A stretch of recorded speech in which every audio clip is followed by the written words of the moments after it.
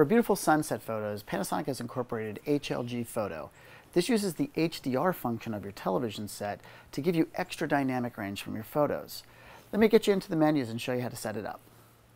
So as you can see in this photo, we have the bright sun here, we've got the bright sky and lots of shadow areas. So we're going to end up with a very mixed exposure. With our HLG photo function, it's in the top tab. It's on the first page, HLG photo.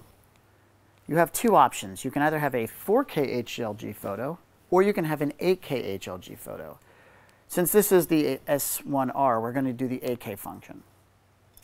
Now you can see that our histogram has changed. It's more compressed. And when we take the photo, it's going to embed metadata that your television set can recognize and stretch that file out to give you an even more dynamic image. Now that we've taken an HLG photo, let's go ahead and go inside and see how it looks like on our TV. Now that we've shot some HLG photos, let's walk through how you'll play them back. Now, until your smartphone or tablet or computer can recognize these files, it's important to note you're going to have to use a television set. And really only today Panasonic offers a TV that can natively read them through the USB port.